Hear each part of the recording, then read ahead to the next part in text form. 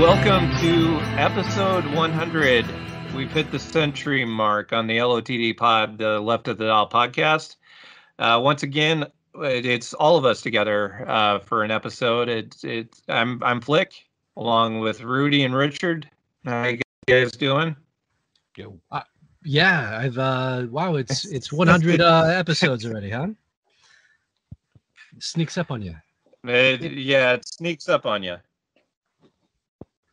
That's an achievement, though. Um, I don't, I don't know who's going to do the archiving of the internet and this sort of first generation of podcast technology, but the number of podcasts out there that got to like nine episodes and stopped greatly outnumbers the uh, the ones that made it to a hundred. So uh, that is, there's some equity in there, I think. So, yay. Yeah, but but but this can't still be first generation now.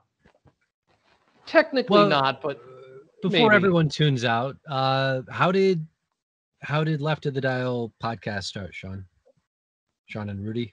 Well, um, uh, actually, I, I want to mention something quick uh, before before. Um, uh, yeah, sorry. Um, yeah, d- b- before we go into like a, a retrospective thing, um, I just wanted to mention a, a, a something. You know, like last week, uh, fortunately, one of the two big shows I wanted to go see what um, did stay on the schedule. So uh, there were. It was going to be like something I looked forward to the whole summer. Was uh, Spoon was going to be playing here in Des Moines uh, a couple of Thursdays ago, and then Wilco was scheduled for last Thursday, and I was looking forward to, to that the whole summer. Um, but Spoon canceled because of the COVID situation here in in uh, Iowa. Uh, Wilco did stay uh, scheduled, and uh, it was a good show, and I, I think it's well documented. I love Wilco. Uh, one thing that was very cool um, that uh, at one one point, um, Tweety, uh, Jeff Tweedy went into one of the older Wilco songs, and he said, uh, "This one goes back to the Gabe's Oasis days." Oh wow, okay. nice. Deep cut. Yeah. It it ended up being slightly disappointed because I was hoping at that point he was going to play New Madrid perhaps, but he played uh, Box Full of Letters. But uh, but yeah, I mean it, it it's kind of cool that uh, after all this time, um, you know, Gabe's Oasis, our our Gabe's Oasis in Iowa City, uh, it's it stays in the memory banks. It was. Uh, that's a classic. Pretty unforgettable. Yeah. Yeah, that's, it's a uh, classic. Yeah. That does actually answer your question a little bit, Richard, though, which is the uh Flick and I know each other from I, I don't know if it's the origins of the podcast, but we worked together in radio 25 years ago, right? Flick? Or did we? Yeah, you were on I think we didn't work at the same Uh, station then. Yeah, But we- yeah, the same market. point, yeah, at this point. What's So that? I've known you and we've been talking about music going back 25 years. Like we just started recording things that have been ongoing in one form or another for 25 years. You were one of my um you were one of my Beck Odelay friends. So right. you were yeah. I had a uh, couple people who knew that record really well and was like really into that and like Paul's boutique and trying to figure out what was going to go. You were one of my uh, Odelay friends. Yeah, and and that was uh, one of those things that you know, like immediately when that came out, I don't know, don't know if it was just that we both had got it right away, or if if um, or if I had it and then you know made you listen to it, or or I don't remember how that all went, but but like yeah, it, it immediately when Odelay came out, that was that was like a, I remember that was like a, a big atom bomb for the both of us. Yep.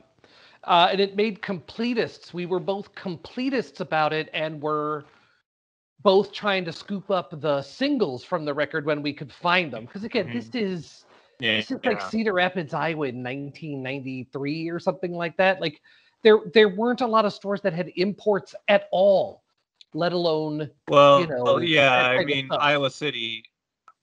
Yeah, Iowa City is where where you would go to do that. Yeah. uh and, and then who make music this is terrible stuff but back then we were making a very little money and we would swap a little bit with each other like oh i was able to get you know i got the Sissyneck single here are the b-sides. So and uh, i think uh, we both liked uh, the beer and then i think we both really was the music out started to get is just beck completism. That's my that's my recollection. Is that even close to yours Yeah, and uh, and I remember like you're well, uh, one of those big things was getting like the Jabberjaw CD um, with with uh, Cold Yes. Ass Fashion, but then like the big score where um, I I don't know if this was something you got in New York or what it was, but but the uh, the Makeout City the the Makeout Yeah. City remix of of uh, where it's at. all right Oh, sorry man, that, Richard, um, yeah, that was one of my favorites. this is going to go off the rails. Uh, so I do specifically remember that because Makeout City was only available, I believe, on a sampler that was given away at like of on on the Vans Warped tour, I think, or the Vans Shoe tour of that year. That was really really hard to get. This is like the pre Mhm. Discogs era, and it did require. And I'm I'm channeling. uh What was the band that had the song about walking up and down St. Mark's, looking at stuff being sold on blankets? Uh, King Missile. Um, it- like it was like I'm out of King Missile. Like you literally would. That's that's where I would find stuff like that. So yes, I was very excited. So Richard, that's kind. This is kind of the answer. Is the immediate like the, that inner foaming nerd for music just started to fly out of a couple. I mean, Flick, neither you and I were lifers for radio. I, you know, I don't know if you felt like you were going to make it the whole way at the time. I kind of knew by then I was a short timer that it was just for fun, you know. Yeah, I mean my my uh my ambition for radio was always to to do play baseball play by play. So um so that was really, you know, the I I was never there for radio because I because I knew early on like actually um when I went to broadcasting school uh, I talked to to uh, to one of the. This was in Minnesota. I talked to one of the DJs from uh, KQRS, um, the uh, the big classic rock station in in in Minnesota, and you know just had a conversation with him, and it's like, you know, if he was like, if you like music, this isn't really the the business for you, and so I if if I didn't know that already, I I I knew that you know being a music fan, it just wasn't really uh, the life of a DJ was not going to be my life. Well, unfortunately, and Richard, I want to cut you back in here. I'm sorry. No, no, I've loved hearing this. Oh. This is very touching stuff because, yeah, I mean, I, identifying with someone as instantly your friend Through over music. Heart, yeah, it, it's.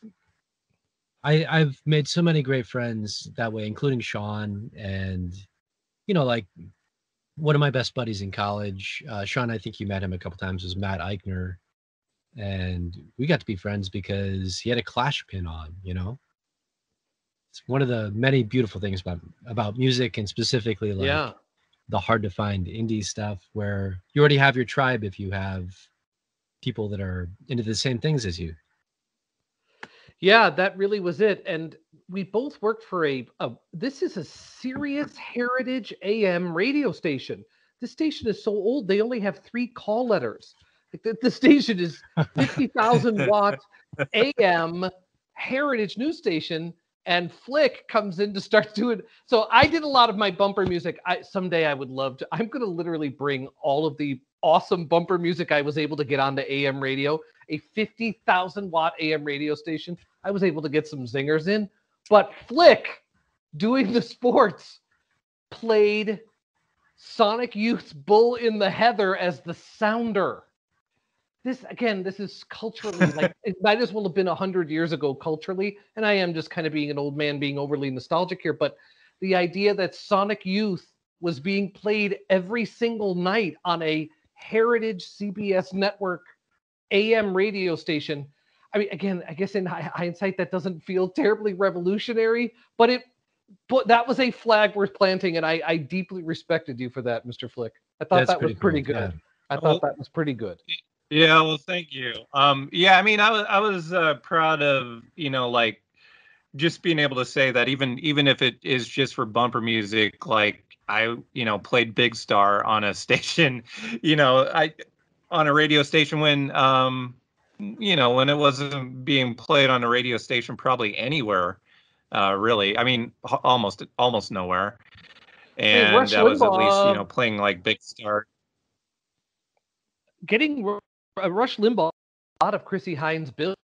You know what I mean by having uh, "My City Was Gone" be his theme song for whatever 25 years. That money does add up. It really does add up for them. So yeah, I was very happy to play sort of. Uh, I, I mean, I wasn't going completely crazy left field type stuff, but uh, Roxy Music's the main thing from the great Avalon, one of the all-time Yeah. greatest albums in my humble opinion.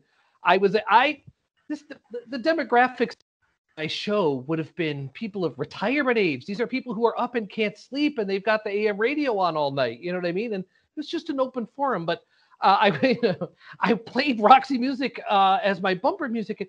I had people calling in like, "What what is that song you're playing?" Like this is just AM talk radio, and people wanted to call and talk about Roxy music. So that was a lot of fun. I actually think about the bumper music more than I think about the show. I, I don't know. That was a really interesting time. And Flick, you're you're you did end up doing sports broadcasting, right? You did you you went out you, you got a shot. Yeah, I I um I worked for a, a minor league uh, affiliate of the Cubs for a, a while there. Yeah, and then anyway, we can we can bring it all back to earth, but this did begin a friendship in which well, I moved to New York or I lived in California for a long time like you, Richard. You're you don't we don't you don't see Flick on a day-to-day basis or anything like that. It, music is something that can allow you to keep an, a friendship alive with someone you've known for a long time. Like it's one of the few places where you can talk about old stuff and it's not just like soppy nostalgia because talking about old music is fun too. Music is very pliable as a basis for a friendship because Flick and I, I mean, you you know you know Flick across the miles. I've had many years where I didn't live anywhere near Flick, but we met in Memphis and we went and did some music. We went to Sun Studios and Stax and did a bunch of. uh Oh yeah, cool. We had a great time And and, uh, huh? And and Ardent too. Yeah, we went to Ardent. We we flew and we did a Northwest tour. We hit uh, we saw M Ward in uh, Vancouver. That was a good show. Uh, we we saw uh, we went to Portland, right? I think we went to Portland and Seattle. Yeah. We? Yeah, Yeah. uh, yeah. Uh, we went. We uh, we met in Seattle. Uh, then went to Vancouver. Then back to Seattle for a few days, and then down to Portland. Then uh, back to Oakland. Yeah, real uh, music tourism, and then we did uh, Detroit.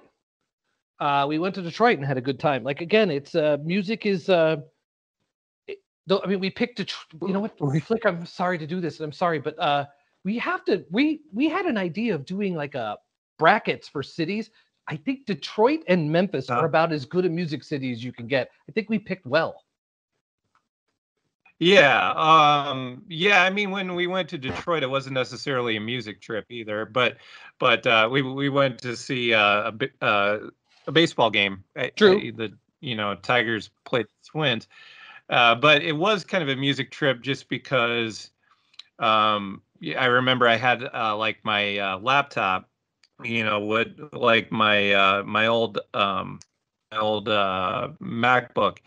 It had you know just it was just loaded with with my mp3s and you know while while we were dri- driving in you know i just uh was was uh putting together like this massive playlist of all detroit artists.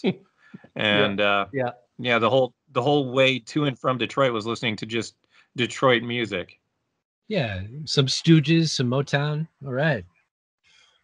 Yes, Motown, um, some Dirt Bombs, uh, so, you know, White, White Stripes. stripes for sure. Yeah. Uh, We did. Did we I'm- hang I'm in San Francisco sure- too? You came out to San Francisco. Well, did we see y- any shows?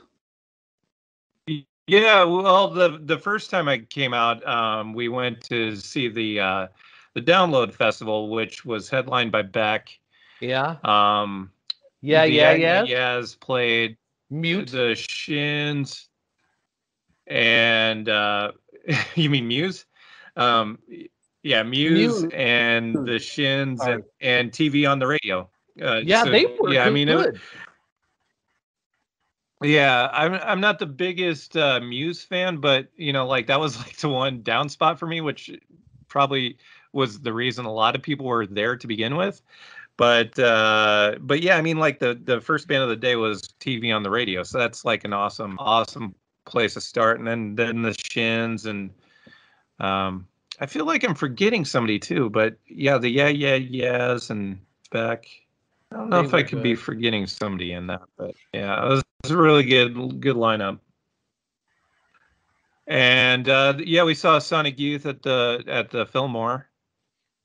Yeah, that was a good Uh, then, yeah, then the other time was was you know mostly. I mean, that was when we when we went to Vancouver and that stuff. So so I don't know that we saw anybody uh, play while in the Bay, Bay Area there. Yeah. Enjoying the poutine. Story of my life. The poutine was great. yeah, it was. Uh, yeah, Vancouver had that uh, poutine with chicken gravy, which was amazing. Mm, yeah. I uh, two thumbs up for me for Vancouver uh, as well. Okay. Because we went to MEC as well. MEC, I, I like REI just fine, but MEC, oh no, there's an active lifestyle store for you. Mm, good times. Richard, have you done any uh, music tourism with any of your buds? I mean, obviously, maybe you have bandmates become your buds, but you ever gone out of your way just to hang in a music town with somebody? Or are we just Um, weirdos. I you know I used to do that back in the day. Uh, you know, like flying into. Uh, I think, like going to the All Tomorrows Parties Festival in LA when I was in college, with a pal of mine, and uh, and my wife Susan and I, kind of still did that like up until pandemic. You know, like find a, a cool show in like oh let's go see radiohead in seattle you know rather than san jose and um so yeah not recently uh obviously but uh you know it's always fun to kind of pin a uh cool little vacation around a, a show like when we went to new york we're like oh well let's go see woods and then plan everything around that you know Ooh, I'd like to see Woods one of these days. oh you should you should Yeah, they have some new stuff out. I've been meaning to get to. Oh, I'm gonna. I didn't. Yeah, you're a Woods fan. That's cool. Yeah, I love the love those guys. Um, so yeah, I mean, in terms of planning a vacation, like uh, you know, I don't, I'm not always good at vacation because I don't like to go shopping as like a Right. pastime. You know, a lot Right. of people do. Uh, more power to them, but uh, yeah, having a, a cool rock and roll show you can just kind of plan plan around is, is so much fun and such a cool way to see a city and kind of identify like oh you know this is where we'd see shows all the time if we lived here um yeah and going to south by southwest uh the one time that i went when i covered it for a newspaper um that was great just you know really drinking from the fire hose Flick, you're a huge Austin fan. You've been to South by Southwest. Yeah. Um, what's that? Have you been there during South by Southwest?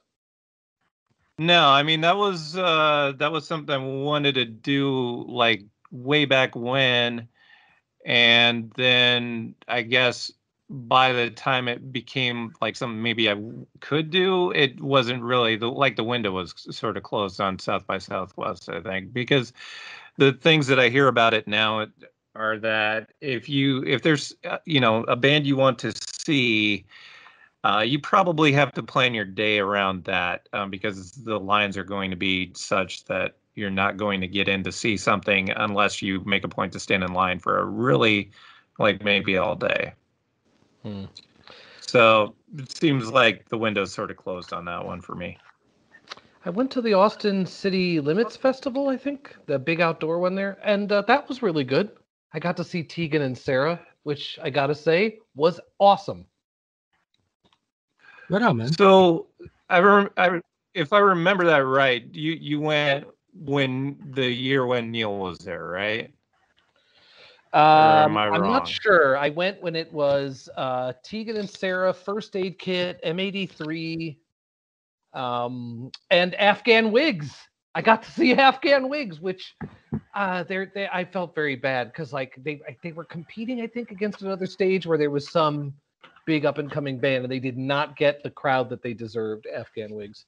What an underrated band. Holy cow. Sorry, now I'm getting, I'm just being an old person being nostalgic. Sorry about that. Let's move it along. But yeah, um, Austin, Austin though is is kind of uh, amazing any time of year. Like uh, when when I went, it was in September. There wasn't really anything going on, but it was still completely amazing. From what I hear, and I know this is a cliche and I'll keep it very brief, I, Nashville has become a elite level outpost for um, nightlife and music and that sort of thing. And it's that's within a day's drive. That is a realistic drive for me. So I feel like I need to go to Nashville another time. I did get to see an outdoor concert of Bob Dylan in Nashville. And I picked it. I did tourism just literally. This is what a cliche I am. I went so I could see him with the Nashville skyline. There you go. I'm owned now. I can't. Uh, yeah, can't and deny it. Nashville, Nashville is kind of on my list too, uh, because I've I've been to Nashville, but I've not really ever ever seen anything really in Nashville. I've I've been there, you know, like when um, uh, you know, like when I was uh, driving to Florida, because it's kind of the midway point, and and uh, just spent the night there basically. Um, some something I need to experience as a I guess as a tourist. Uh, but I- but you know, as yeah. a music fan, I, I need to uh, go to Nashville and take it in. You know, I, th- I think probably one of my favorite uh, shows of seeing Frank Black and the Catholics was in Nashville at the Exit Inn, like this totally cool punk rock bar. Um,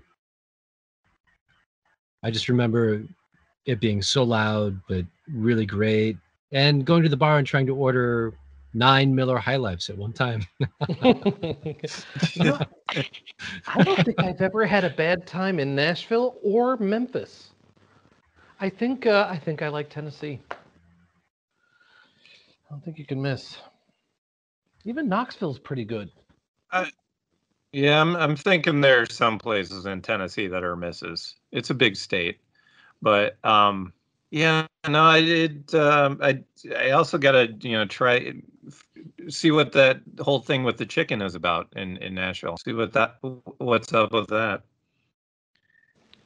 Yeah, I don't think you're gonna. I don't think you're gonna have a bad time, Flick. Uh, the third man store there's good, um, too.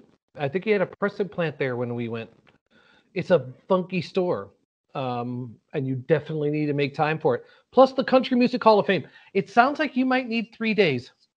That's. I'm gonna make a bold call there.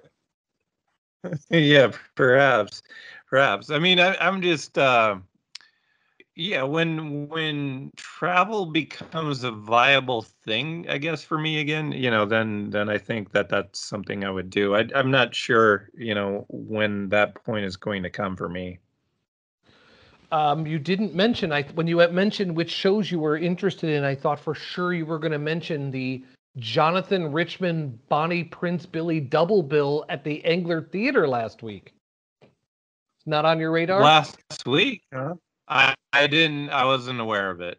I, I don't keep up on on what's happening in Iowa City too much. I did go there to see the Jayhawks a couple uh I don't know a month or two ago. Um, you, you know, but that I I don't even know if I would have known about that. But that was around the same time we were doing a Jayhawk show here, and it made me think. I'm gonna try to see them live sometime if I can, and it just so happened they're playing in Iowa City around the same time. Um, no, I didn't. I wasn't aware of that. I, It, I may I have. uh, guess, they are yeah, on things- tour together.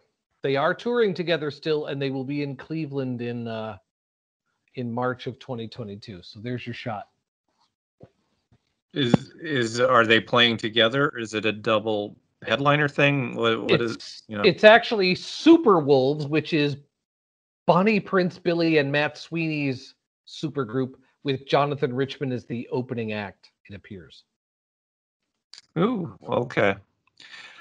Well, I don't know if I would- if I uh, would have gone to Iowa City to see Jonathan Richman as an opener. Hmm. Really? Maybe it it. I it's you know it's it's not as close to here as you would think it is. It's a couple of hours. It's a two-hour drive. So if I ask you to come here to see Flo Rida at the uh, Rhythm City Casino, it's totally out of the question. He'll be here. We're Is that the, the Riverside uh, Casino? no, that's the Isle of Capri. This is a big Oh. barn of a building up where 74 and 80 meet. George Thorogood's coming in. You know, I'm going to say something nice for George Thorogood. At least he acknowledged he basically was a Bo Diddley ripoff in in a lot of ways. At least he did something to try to aid uh, Bo Diddley. And you know what? He had some bangers, and I'm just going to say it. Bad to the Bone is a banger. And I think if you don't like Bad to the Bone, then you don't like music. There, I said it. I can I can tell you I've I've I've heard Bad to the Bone so many times in my life that I don't really ever want to hear it again. Doesn't doesn't mean that I think it's I, I guess that doesn't necessarily mean I don't that I think it's not a banger, but I don't want to hear it ever again. I really don't. Um You don't have to I- listen to every I don't even I don't even like to think about it.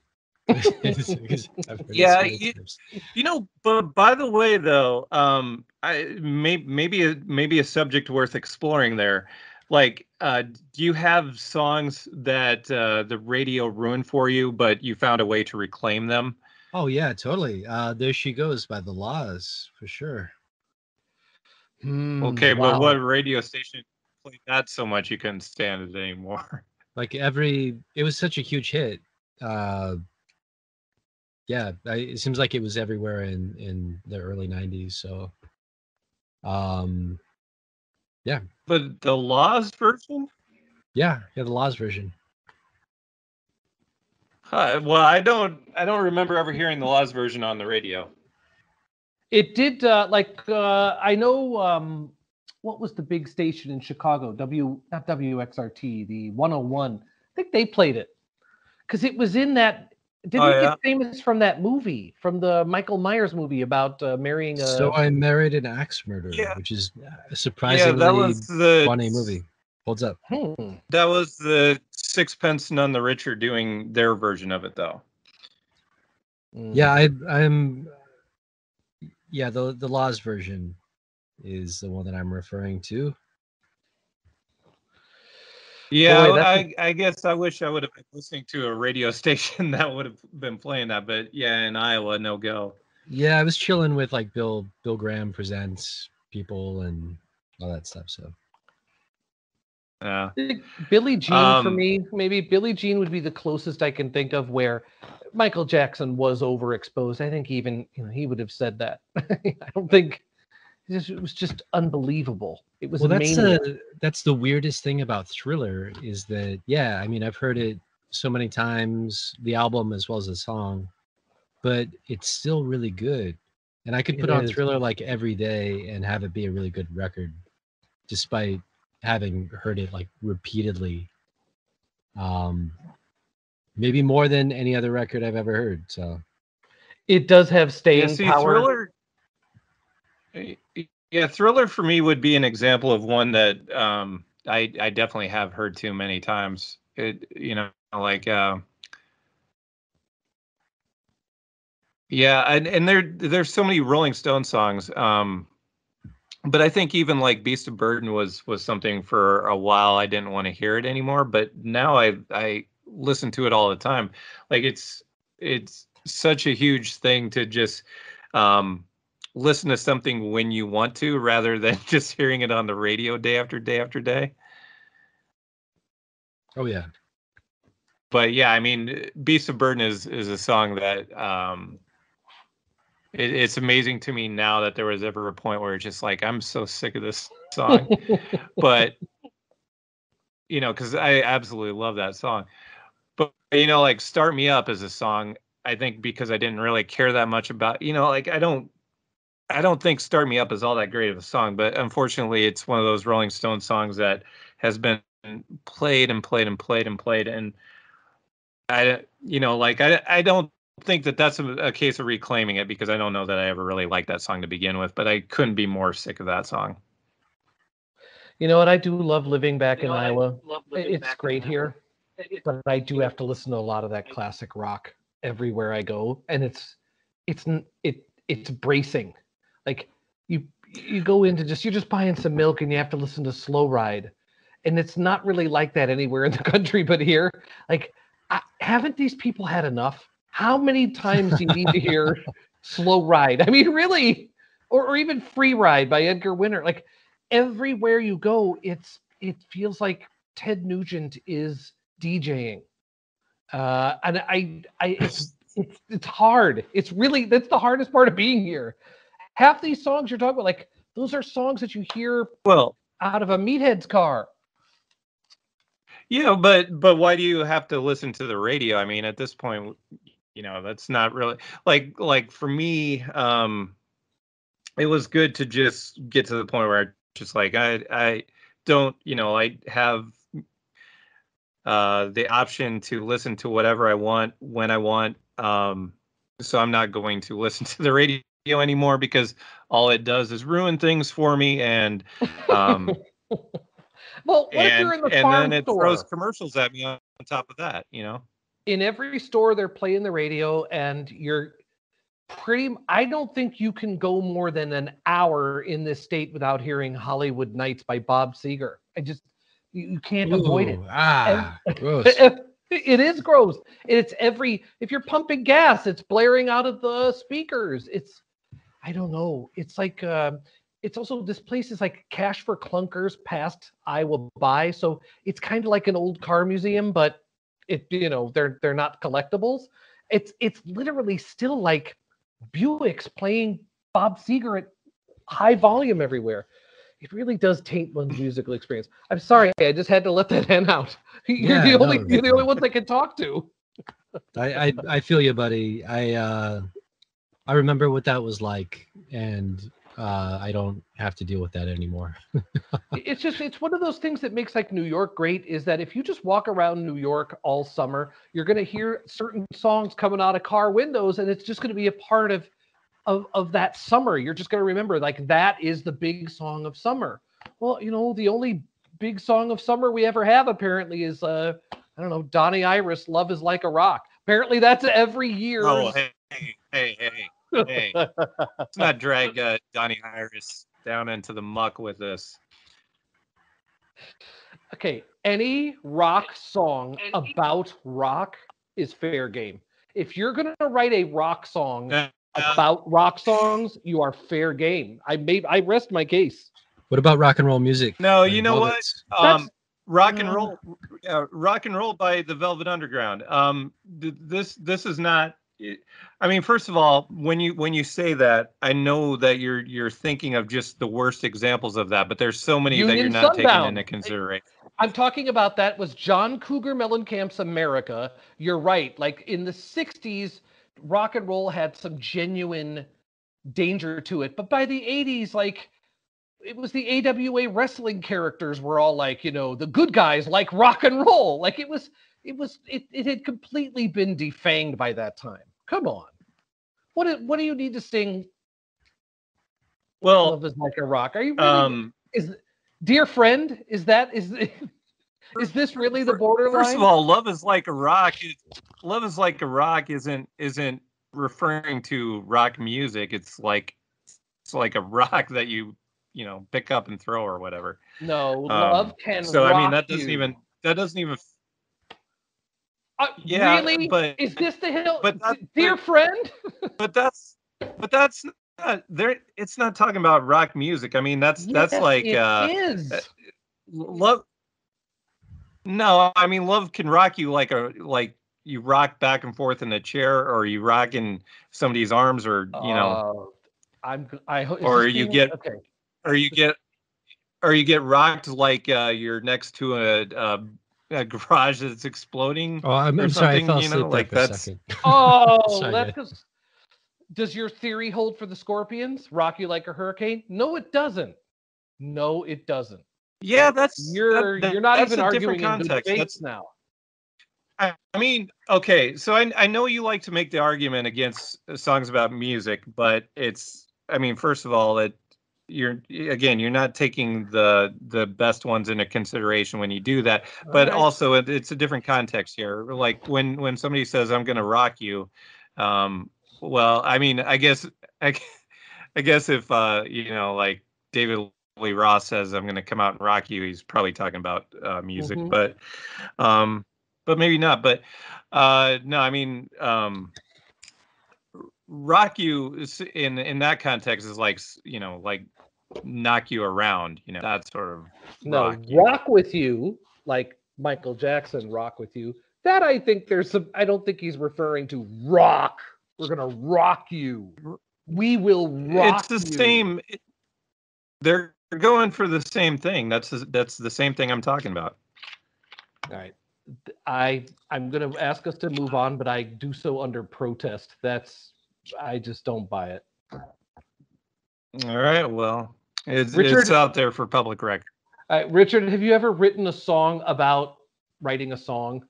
Or have you ever written a song about music? Uh, you know, I don't think I have. I'd have to, you know, I've got a pretty extensive back catalog.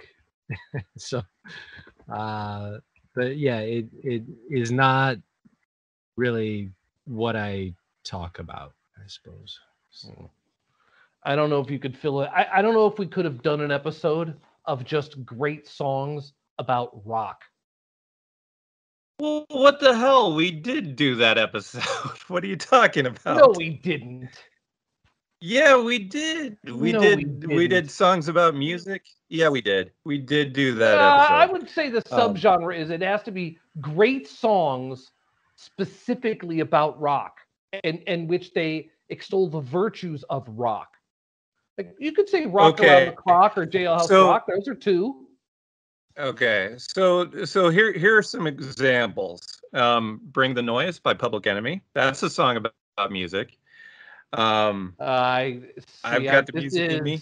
This is all to me. These are all edge cases where "Bring the Noise" is about isn't about rock per se. It's a reference to the sound that Well, Public I- I Enemy think- made. I I think you're seriously splitting hairs if you're if you're saying there's a difference between uh, it- like something that's specifically about rock music and something that is definitely about music, Oh. but maybe It's why Brian Johnson not the is. same exact kind of music. It's why Brian Johnson Um, at the end of the okay, day. so- th- no, so no, so no. more more more examples more examples american music by violent femmes uh, rock and roll by the velvet underground i love rock and roll by joan jett uh, also uh, 60s arrow cover. Yeah. Um, Uh, Velvet From Underground by Uh, Jonathan Richman. yeah uh, roadrunner by by the modern okay, but lovers you're you're you're. Um, I'm saying the- specifically songs about rock with the like every ACDC Uh, album has like five of them. Different ways of like one The way to rock. of can't to rock. That doesn't have the word rock yeah in it. well you you but you're you're just okay so now you're just uh, honing in on the word rock but Yes. that doesn't mean it's that doesn't mean it's different subject matter just because it, it does. speci- it does. okay um Meanwhile, I'm The looking at our Radio chat and by- everyone has Spirit of left. radio by rush Oh, I'm sorry. We we, we he, Richard's right. Richard's right. Um, I'm okay I'm going to stand by my statement that there aren't 10 great songs about rock music with the word rock in the title. Well, I'll be clear. But I will. yeah uh, that's will- you're getting you're getting way too specific with that one I don't know. We started with uh, Donnie Iris. I think. Yeah, I don't think that was too specific. yeah but uh, there you're just going for the word rock and and not the subject matter. That's not it's different subject matter, but he uses the word rock. All right. Richard, would you prefer Aaliyah or Love is Like a Rock or The Rapper by the Jaggerz? Of of of Donnie Iris's three biggest hits, do you have a favorite? I would walk away. In his oeuvre. yeah, You'd walk away. walk away.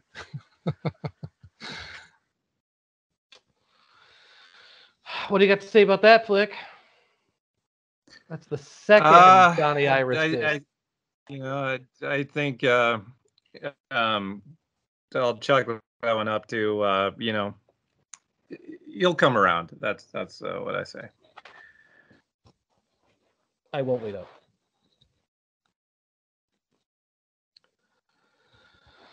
I'm out of Donnie Iris material. I'm not gonna lie. Rock and Roll Fantasy by uh, by the Kinks is pretty good as well. Oh, okay. Well, what else is going on in in anywhere? You know, you're right. The tour schedules are just not there. It's not super robust yet. I haven't seen any must risk all shows. I haven't s- I haven't seen any tours like that. Am I missing something? I think there are a lot of tours. Uh, I mean, um, there's yeah, definitely the- been yeah. a full, uh, definitely been a full slate of uh, festival stuff happening lately. Did either of you go? No, but uh, Pitchfork uh, did like a live stream for. I don't. I'm wondering if they had um, multiple stages this year because I think everything that they showed on the live stream was from the same stage. So I don't know if there was uh, if they just didn't have the other stages this year, or if, or if every just only streaming things from one stage. But um, yeah, I watched. Uh, I watched Angel Olsen I watched her set. Um, what do uh, you let me think of her? Uh, what do you think of her uh, '80s covers EP? Uh, y- you know, I I like I like the OMD cover the best. I think just because I think it's kind of hard to not do a good version of that song. I think you know the if you leave is the song I'm referring to. Yeah. Um, because maybe I shouldn't sell OMD short as as like a one hit wonder, but most people know them Definitely not a one-hit song. wonder. They're definitely not. They were. No, but- tell if they were great but- or if they were cringy. I'm Yeah. not sure. I, no, I think they were pretty good. I, I, I don't I don't think I, I put them on either poll that you mentioned, but I think they were pretty good. Um, is where I would put them. Definitely not cringy, I mean, but they pretty good. they shared a bill with Joy Division. They were produced first by Martin Hannett, which isn't necessarily a trademark of quality, but they do have some genuine artsy pedigree. Um, the what's the album? The Dazzle Ships. That doesn't really have a great single on it, but it's a great album. Like they can make a great artsy record, but some of that stuff is really cringy. It's a tough one. yeah. Um, she so so Angel Olsen did do her cover of Gloria, and that was like the only thing from that album that that uh, she did do on on that in that set. Uh, I don't love that so much, you know. But yeah, and uh, what else? She she did Safety Dance. I The Eyes Without a that Cover, heard- uh, Eyes Without a Face cover, I thought is good, but I like Billy Idol. I li- I thought Billy Idol's first couple solo records were great, and that last Generation X album was fantastic. Kiss Me Deadly is a great post-punk album. It's not a great punk album, but boy, is that good. Sorry. You know the uh, the deep the deep cut on on generation x um that i i mean the the kind of obscure thing that is worth digging up they did a cover of uh give me some truth the john lennon song uh that is really great uh it's probably my favorite generation x or billy idol thing period Yeah, they had some good covers. Um, I think they did "Shake It All Over" and did that well, if I'm not mistaken. I did see Billy i Idol. haven't heard with, that one Billy Idol with the Cult as the opening act in in Cedar Rapids in like 1986. That was a pretty. Yeah. Billy Idol did all right for mid 80s. You know what I mean? He was an old punk. I think he put out a, I don't know, he had a couple he's good still records. he's still performing too. Uh, he- he's he's on tour right now, I think, Billy Idol. Yeah, he was good. He was way underrated, I think. He wasn't just a meathead. Uh, those were some of those were really good records. He had a good ear. He looked good too. Come on. He looked great. he looked great. And uh, Billy. Billy Idol, I think, takes us back to to songs that the radio um, r- just buried into the ground for me. Like I don't ever want to hear White Wedding again. I don't ever That's need to hear that again. fair.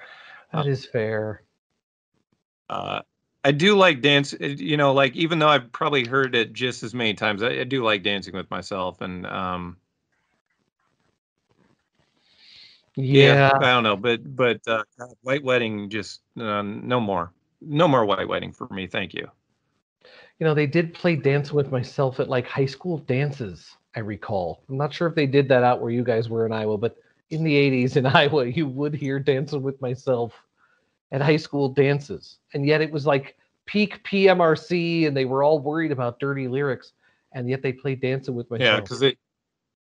Well, because in their minds they're probably well, or like, well, how do we keep Yeah. uh, boys and girls from not dancing with each other? Yeah. Right. yes. Yeah, that was a good show. That was a very good show. Although the cult played from the Electric album then, which I gotta say, um, not good. Wasn't good. Love is such a better album. anyway, neither here nor there. Love is like a rock. That album by That was, cult. uh, no. Yeah, that was that was the review of that one. I think somebody wrote, "Yeah, love is like a rock." You're being passive aggressive now about uh, Donnie Iris. Just want that noted, and Um, I'll, I'll print up the merch. Yeah, I I, I don't know. I have uh, some inner Pittsburgh in me. I think that was getting out. Well, yins need to keep it to yourself. Move on. Uh, so um, I guess another thing that uh, that I kind of think is worth discussing, like uh, since since we started doing the show, um, uh, any any uh, shows stand out to you? Any any uh, thing that came from doing a show that stood out to you as far as like uh, maybe maybe discovering a band from it or an album from it? I really liked all the uh, I'm gonna make you love you. I'm gonna make you love me uh, shows. Those were Yeah. really fun to just dive into a record that you know you, you're not you kind of know about or maybe you don't even know about and and really soak it up. So I, I really enjoyed that. You know, it goes back to what we are talking about with um with how you can, you know, music and friendship and and all of that. So yeah, like getting into Jayhawks a few weeks back was really fun. Ooh, which one? Uh Hollywood. Oh uh, yeah, Yeah. I'm with Flick on that one. That feels like uh that's one that we would if I if we're making a capsule for space to try to get stuff to make the aliens like us. Like that's a, you got to consider that one. Yeah, really cool, really cool album. So Yeah, those, are good shows. Those are really fun. Yeah. I thought the Lou Reed and the Iggy Pop drafts were good. The Springsteen draft was good. Those are fun because not you know we all don't bring the exact same super fan depth with the article. Like I, I, I your Bowie knowledge, uh, for example, Mister Richard is uh, I can't compete with. That's, Thank you. know, Thank you. Thank you. Good stuff. But I enjoy those. That did force me into parts of the catalog that I just writ, wrote off because I had maybe one bad experience.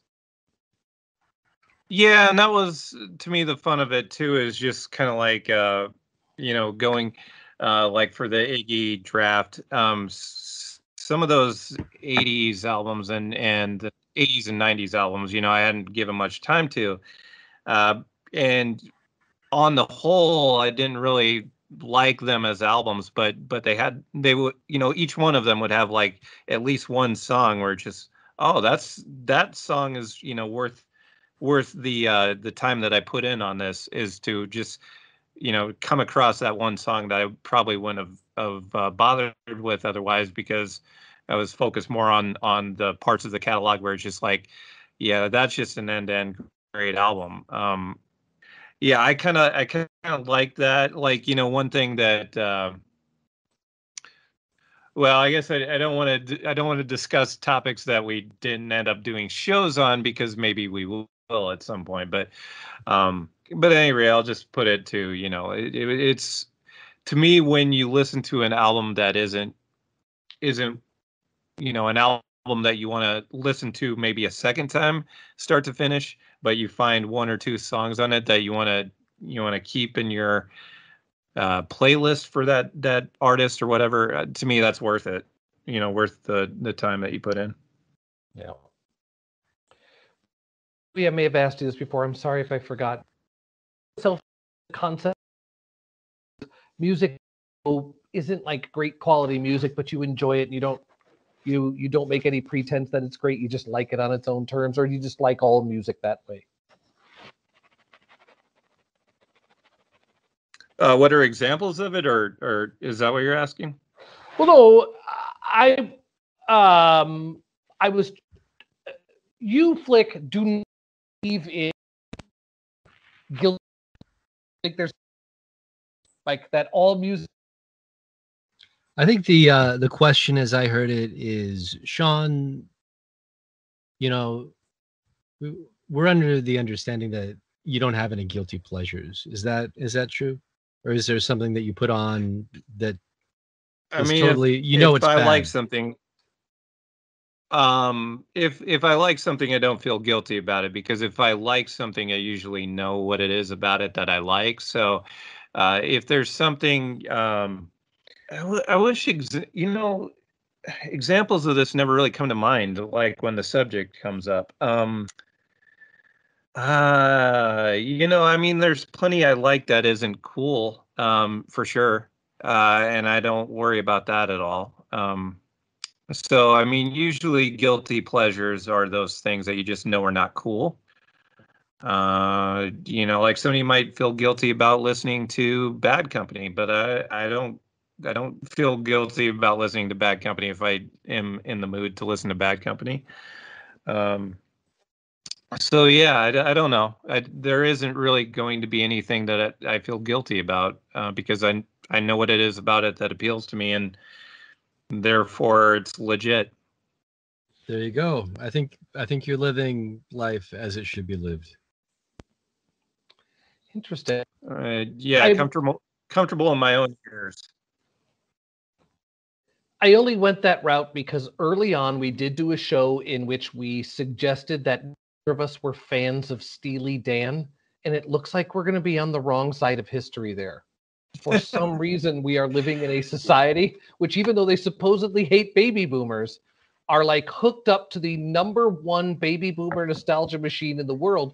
Like Steely Dan at this point, culturally, literally can't be stopped. They're they're everywhere. They're ubiquitous. I don't, I don't know if I could name a song That's by funny, Dan. yeah. The millennials you can like name a song. I, I don't think I could name a, a song by Steely Dan. Keep it that way. Like do do it again. You're not familiar with Do It Again? I'm looking or, at the Ricky. Don't lose that number. Uh, no, I I don't know those. Yeah. Um, reeling in the years. I'm you telling have to you, know reeling you can keep listing song titles, but I'm going to give you the same answer. Okay, well, if you don't know any of those three, then I'll believe you. But um, that that's kind of amazing in itself that that you're not familiar with any of those. Uh, I mean, you know, the okay, so yeah, the show that we did was a banality draft um, for Steely Dan, and and I did I did pick five Steely Dan songs that I do like, uh, but I really would. I don't know if I could have gotten deeper than that. Um, it was much easier. I, I will say it is definitely a lot easier to, to, do the Steely Dan draft than it was to do like the Phil Collins solo draft. You did where that? I had. Yeah, we really were. Yeah. You know what it was, I, Richard? We were trying to find ways to say nice things about bands we generally didn't like. And by doing a draft, yep. you're picking the parts of their catalog that you do like. Oh, you guys sound yeah. like masochists. Wow, that's tough. Well, we were trying not to do um, be able to something nice. Was, talk about it. Yeah, I, I mean, some of them were were kind of fun to do, uh, but but yeah, I mean, for the most part, it was there was a bit of masochism involved. Um, but uh, yeah, I mean, it it uh, there are two Phil Collins solo songs I actually like. I I would say, um, "In the Air Tonight" and uh, "Take Me Home." Um, yeah, and and I didn't I didn't go in and like listen to the whole Phil Collins catalog. I wasn't going to uh, don't hate myself that much. So I Yeah, did that would- do I did do uh, See, I, I I, just do I just kind of wonder, short like you know, it's kind of more interesting to talk about the uh the remake of Purple Rain by Mdou Moctar. you know, Whoa, whoa, whoa! This this news in in my uh in my world. There's a Purple Rain remake. yes, it's called uh Akounak Tedalat Taha Tazoughai. Uh, Okay, I'm writing it down. is- Translates to rain that is the color blue with a little bit of red in it. Uh, and it it stars Mdou Moctar, Mhm. uh, and is from 2015. You can uh, rent it on Vimeo for five dollars, and it's a solid film. wow, I I- didn't come looking for that information, but I'm glad I'm leaving with it. That is good stuff. Yeah, and I think But- the uh, but purple Purple Rain isn't a solid film though. I mean, it, it has has great uh, whoa, has great music sequences. It has amazing music sequences, but then, um, you know, yeah, I, I think this is Then- uh, then, a really uh, solid film. So you should check it out. Okay, okay. wow, flick. You so are you saying it improves upon the original then? Wow, I'm right here. You're, you know, No, I we've we've talked about Purple Rain before. Um, the the if if you take out because because this is exactly what I said to you one time before, and I I think we we were understanding of each other. Mhm. Um, but uh, if you take the music sequences out of Purple Rain and then you just have the uh, the the storyline and and that stuff, you don't have it's super thin, very thin. Well, I mean, but you're not going to do that because Purple Rain. You you just why even debate that question? I mean, you can say that about a lot of awesome films. Like, what if you take out the cool action sequences of this and that? But why why hurt your brain and alienate your friends mm. by like, you know, just not worth it. You know, just to enjoy it for what it is. And yeah, Purple Rain has Yeah. problems with it, but you know, just just go with it. Well, What- I wasn't making that my focus when when I said that. You know, like it, I'm not I'm not saying that uh, that you do, that you judge Purple Rain based on the non-music sequences. You do you do judge them very much on the music sequences, but you know, it, it, you you do have to sit through the other stuff though too. Is is the thing. Hmm. Uh, Prince has made some real stinkers in terms of movies. Uh, I, I to lump them all in and say that Purple Rain is just as bad as uh, Under a Cherry Moon. No, I, no, just, I don't think you never never was that. saying that. Okay. No, I'm was not saying that. All right. All right. I just don't want you going too far here. No, I'm- you know, Bob Dylan's movies are way because- worse, by the way. No, no, Pat Garrett and Billy the Kid is an awesome film. You should check it All out. he gets one. Is it better than Purple Rain though? they're different films. I mean, one's a, a cool kind of like, you know, uh, new new cinema western, and the other is not. All right, I'm going to concede that you're right on that, but co- let's not pretend that he hasn't made some almost unwatchable movies. Like I think people consider the director's cut of Renaldo and Clara to be unwatchable. You know what I mean? And I think I've heard the same. I, mean, ugh, Master I have to abstain. not good. I have to abstain abstain on that one. I haven't seen it. Uh, I did I did want to to just give a final point on on Purple Rain. I mean, because of the music sequences, it it makes it a thumbs up rather than a thumbs down. Right. So so yeah, just just to summarize, you know, the music sequences do matter for sure.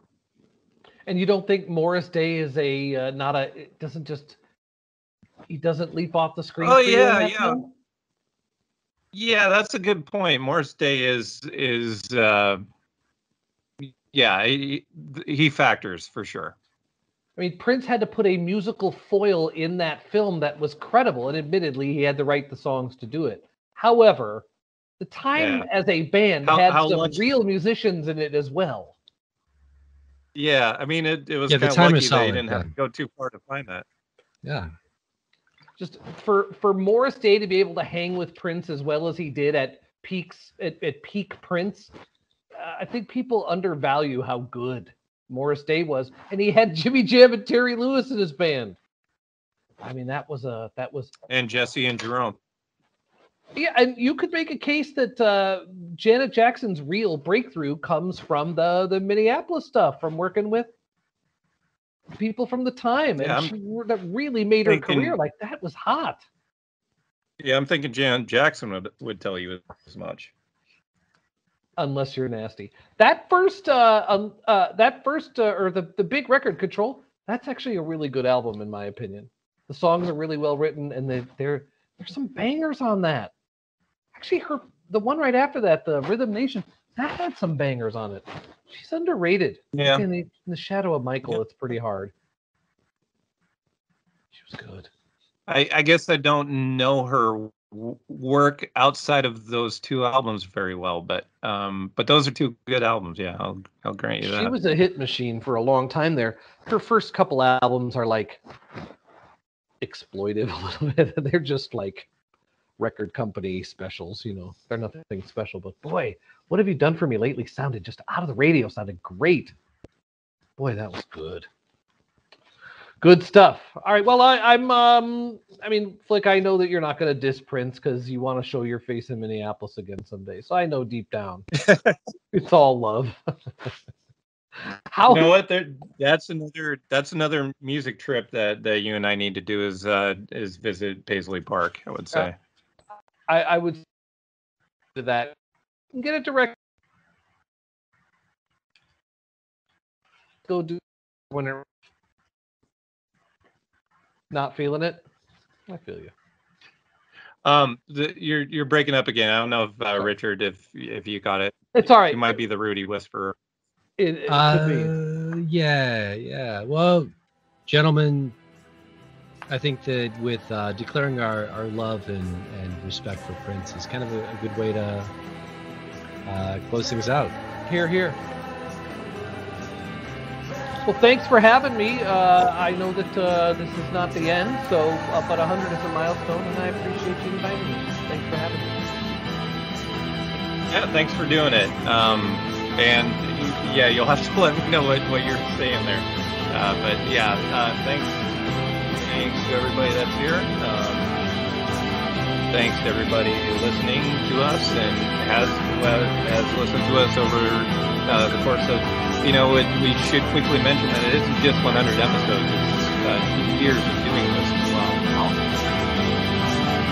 So it uh, is our 100th episode and, and our second anniversary. Well, there you go. And uh, definitely check out past episodes.